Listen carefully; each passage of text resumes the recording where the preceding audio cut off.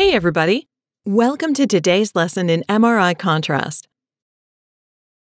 This lesson discusses the core principles of weighting in MRI, focusing on T1 weighted, T2 weighted, and proton density weighted images, including their applications in diagnosing various pathologies. Let's get started. Before we get to the definition of weighting, let's discuss extrinsic and intrinsic contrast parameters.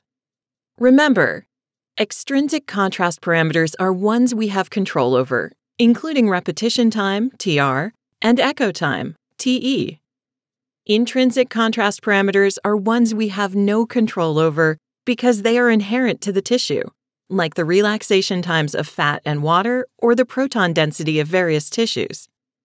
Weighting in MRI refers to the method of adjusting the extrinsic contrast parameters to enhance the contrast between different tissues in the image based on intrinsic contrast parameters.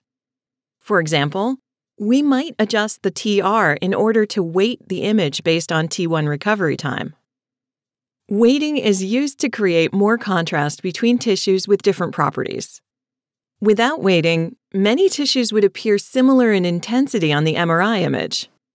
Weighting emphasizes specific properties of tissues, making it easier to distinguish between healthy and pathological areas. In this lesson, we will be discussing T1 weighting, written as T1W, T2 weighting, written as T2W, and proton density, PD weighting, written as PDW. Let's start with T1 weighting. T1 weighting maximizes T1 contrast, which emphasizes the T1 recovery time of tissue's effect on the image and minimizes T2 decay times of tissue's effect on the image. Remember, T1 recovery time is the time it takes for 63% of longitudinal magnetization to recover in a tissue. In other words, T1 recovery is an intrinsic parameter that measures the time it takes for protons in tissue to realign with the magnetic field after being excited by a radio frequency RF excitation pulse.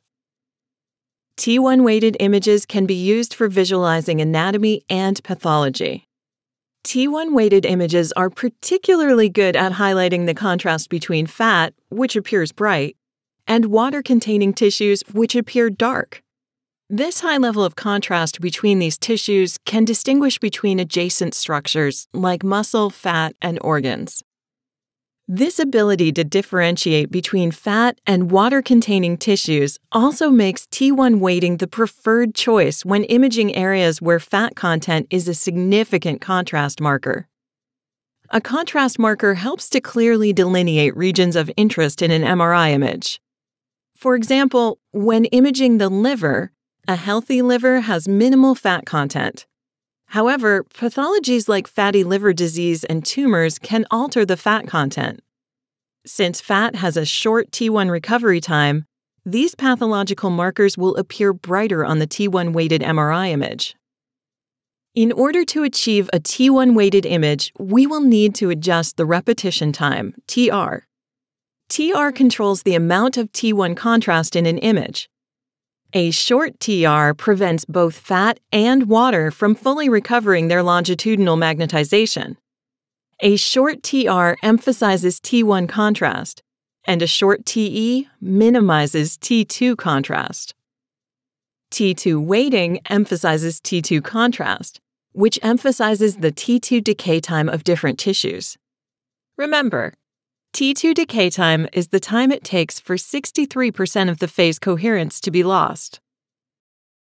In other words, it is an intrinsic contrast parameter that measures the time it takes for the magnetic moments to stop precessing in sync with one another. T2 weighted images are used for visualizing pathologies.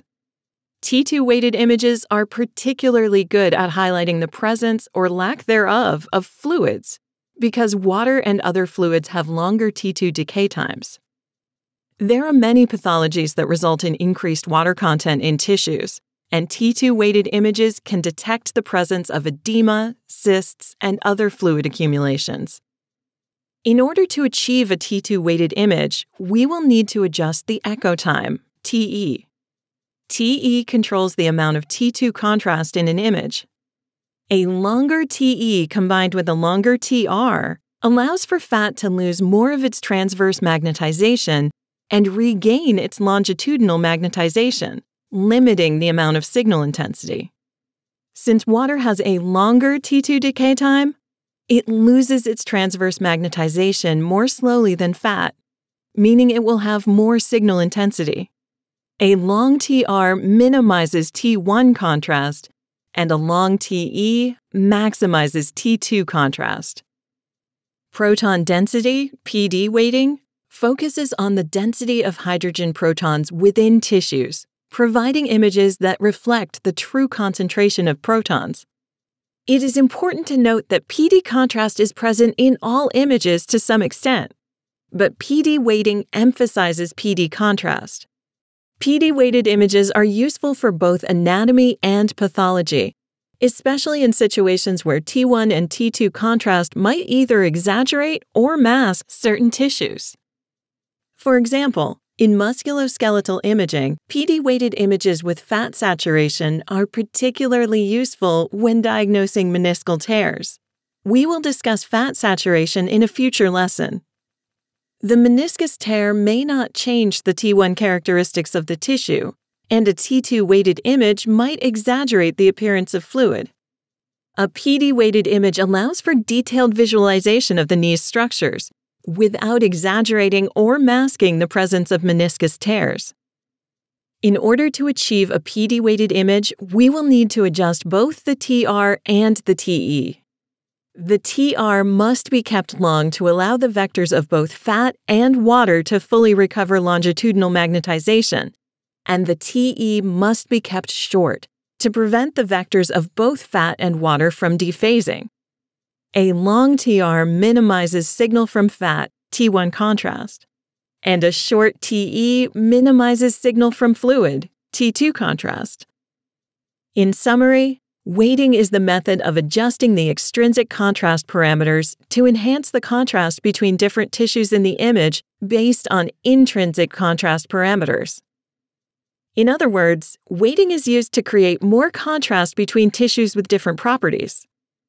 T1 weighted images emphasize T1 contrast and use a short TR and a short TE. T2 weighted images emphasize T2 contrast and use a longer TR and a longer TE. Proton density weighted images emphasize proton density contrast and use a longer TR and a shorter TE.